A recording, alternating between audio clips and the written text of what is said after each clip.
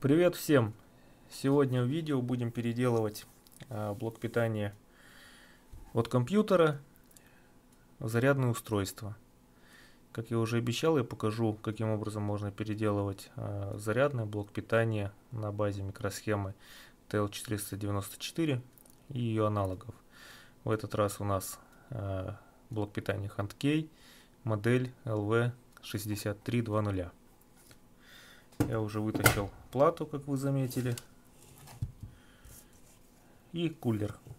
Кулер прицепил для того, чтобы уже знать, запустился блок питания или нет. Как бы по нему очень легко ориентироваться. Ну, кому удобно, можете его отключить и повесить на выход лампочку. Теперь, питание у меня подано через лампочку накаливания. То есть последовательно она включена в цепь. Именно лампа накаливания мощностью 100 ватт 220 вольт. Никакие светодиодные никакие люминесцентные сюда не подойдут для этих целей. Лампочка 65 100 ватт отлично подойдет. Теперь как вы видите я все жгуты проводов убрал. Теперь э, для запуска блока питания нам нужно вот с этой точки, видите, PS on. Вот этот контакт соединить с общей шиной, с минусом. Вот он общий минус, тут еще перемычкой продублирован. Для того, чтобы у нас блок питания стартовал сразу после включения в розетку. Что мы сейчас и сделаем.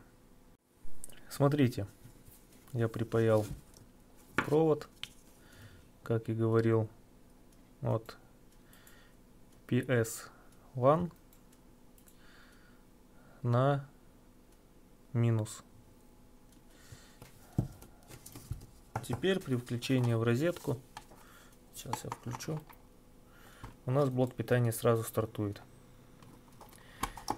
Теперь надо припаять два провода плюс-минус, то есть один на общую шину, другой на шину плюс 12 вольт и э, зачистить концы для того, чтобы можно было контролировать напряжение и в дальнейшем уже э, повесить нагрузку и произвести необходимую настройку. Все подключил. Теперь запускаем. Что-то удивительно многовато выдает. 13,7. Этим напряжением даже худо-бедно как-то можно зарядить аккумулятор, подзарядить немного. Но все равно маловато. Будем выставлять 14.2, 14.5. Просто во всех источниках по-разному пишут. Кто-то говорит, что строго 14 вольт надо, кто-то говорит 14,5, кто-то говорит даже 15. Везде источники разнятся. Я думаю, прошлый зарядник я сделал на 14,2. Этот мы попробуем сделать на 14,5 я думаю, вполне будет нормально. Что, продолжаем переделку. Сейчас я отключу все и расскажу, что нужно сделать. Смотрите, ребят.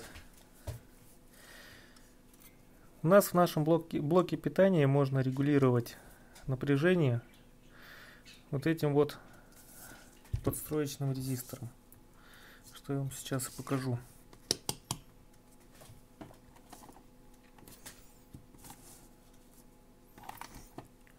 Запускаем.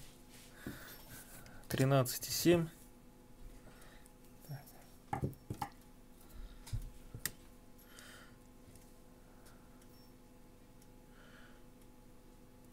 Потихонечку увеличиваем.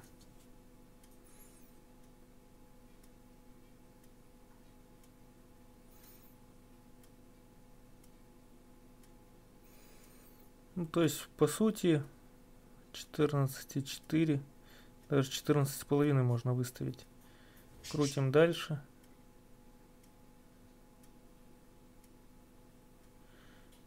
Все у нас блок ушел в защиту.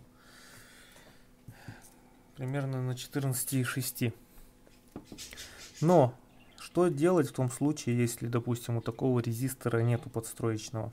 А такие блоки питания попадаются сейчас мы вернем на место выставим напряжение 12,5.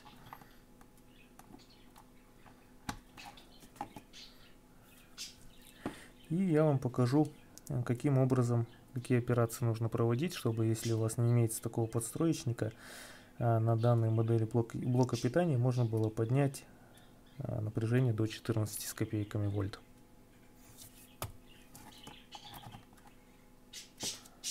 Возвращаем. Будьте осторожны. Я потому как снимаем, надо смотреть, как камера стоит, все ли попадает в кадр. Поэтому я иногда цепляю отверткой металлической за радиаторы. Вы когда будете делать, я думаю, вам снимать не надо будет. Поэтому будьте предельно осторожны. Все, ставим 12,8. Это уже предел. И отключаем. Теперь смотрите. Первая нога шим. А, то есть у нас К7520. Тут ЛМ. ЛМ это защита. Мы ее не трогаем. Как я уже рассказывал ранее. Видите ключ. То есть тут выемка, она вверх. И ключ, то есть начало а, отсчета от первой ноги. Ноги у нас считаются каким образом? То есть по кругу против часовой стрелки. То есть 1, 2, 3, 4, 5, 6. И пошло. Так, по кругу мы считаем. То есть если здесь у нас раз, два, три, четыре, пять, шесть, семь, восемь, девять, десять, одиннадцать и пошло наверх. От первой ноги, вот у нас уходит перемычка. По перемычке мы смотрим, куда идут дорожки. В общем, нам нужно отыскать резистор именно тот резистор, который у нас э, приходит на шину плюс 12 вольт. Если посмотреть по дорожке, то есть трассировка дорожек у всех разная. Э, я в, своем случае, в своем варианте его отследил. Вот он резистор, который соединяет первую ногу шим с выводом 12 вольт. То есть дорожкой на 12 вольт, куда приходит 12 вольт плюс питание. Сейчас мы его выпаиваем, на его место припаиваем два провода. И я расскажу, что можно сделать дальше. Смотрите, я отпаял резистор, припаял вместо него два провода. Вот он резистор сам. Меряем сопротивление. 23,3 Ома. Я взял подстроечник на 68 килоом и настроил его приблизительно на те же показания. 22,9 ну 23 вот 23 с копейками. Сейчас я его припаиваю то есть один провод мы припаяли вместо резистора постоянно один провод на средний контакт то есть на движок второй на крайний относительно которого будет сопротивление близкое тому которое было у нас на постоянном резисторе. Что у нас получилось? Припаял я подстроечник. Запускаем. Честно, мне лень идти за отверткой. Поэтому я кручу пассатижами. И смотрите, что у нас получается. Сколько нам надо? Пусть будет 14,5. Все.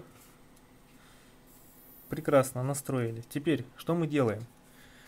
Мы, не трогая движок резистора, ну то есть не крутим его, отпаиваем провода и замеряем, какое сопротивление у нас получилось. И именно такого же сопротивления мы находим постоянный резистор и припаиваем его туда. Все, все дела, все переделки. Если кто-то хочет, может э, вывести этот переменный резистор на переднюю панель. Ну, имейте в виду, если э, больше определенного напряжения, кстати, сейчас посмотрим, когда у нас отключится-то, то блок питания может уходить в защиту. Ну вот, 14,6, даже, можно сказать, 14,55, он ушел в защиту. Имейте в виду.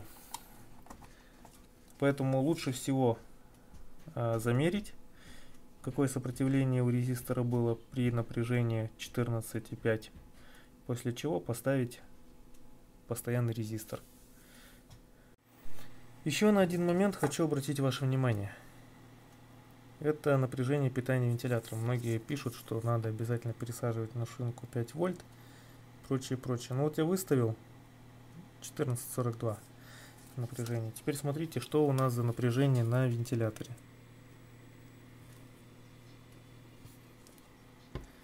У нас 11,4. При том, что вентилятор у нас рассчитан на 12 вольт. То есть, если хотите, чтобы он э, меньше шумел, его вообще не было слышно, можете пересадить а, на питание 6 вольт без проблем. К тому же у нас на шине плюс 5 тоже поднялось около 6 вольт. И он будет еле слышен. К тому же при зарядке практически не греется. А кто не хочет с этим заморачиваться, не переживайте, ничего плохого не случится. То есть никакого перенапряжения э, для вентилятора охлаждения не будет. Отпаял я резистор. Сейчас смотрим, какое у нас сопротивление получилось.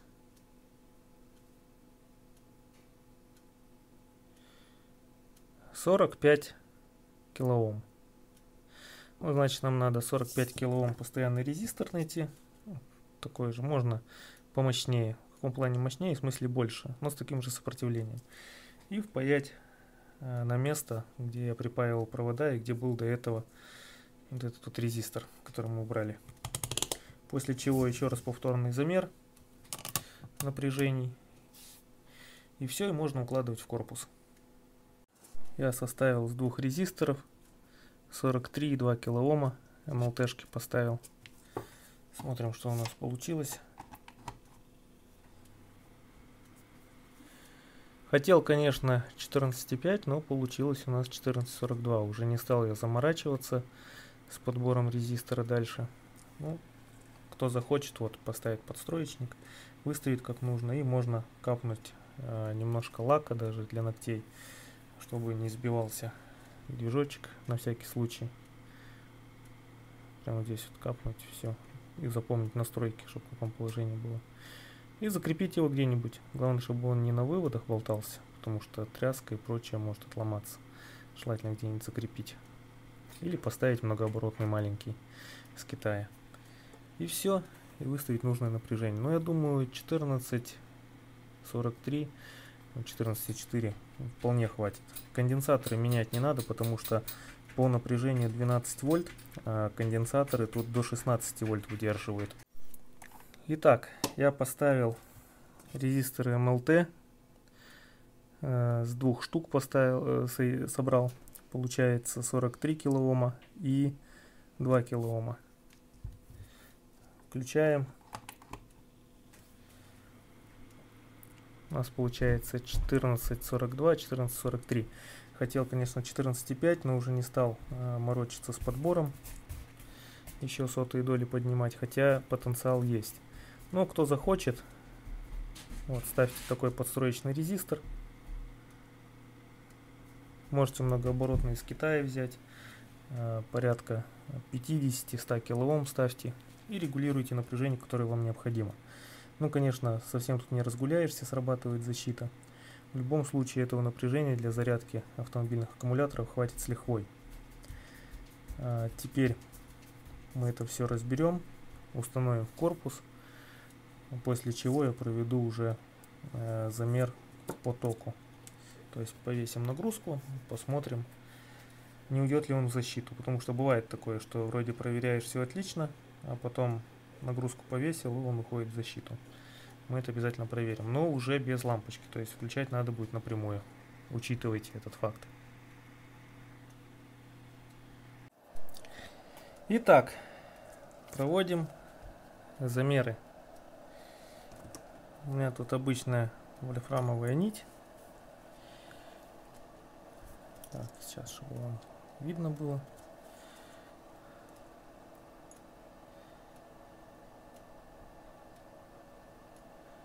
Ну вот, чуть-чуть подсела под нагрузкой.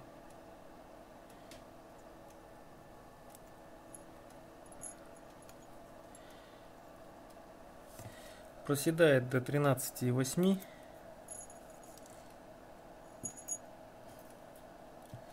Но опять же учитывайте, что у меня тут а, длинные провода. Это тоже сказывается. При хорошем токе будет падение. Видите, да? То есть 6 с копейками без проблем держит.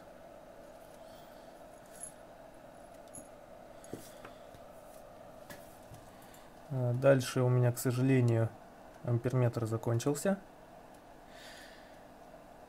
Потом найду помощнее, сейчас просто полдень неохота рыться, искать. А, возьмем амперметр на шкалу 10 ампер, тоже померяем предыдущий блок и этот блок. Просадка напряжения. Видите, провода тонкие поставил, родные. А если поставить потолще, то такого уже не будет.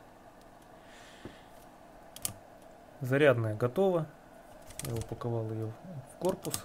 Его, ее, его, наверное, правильно, зарядное устройство, оно.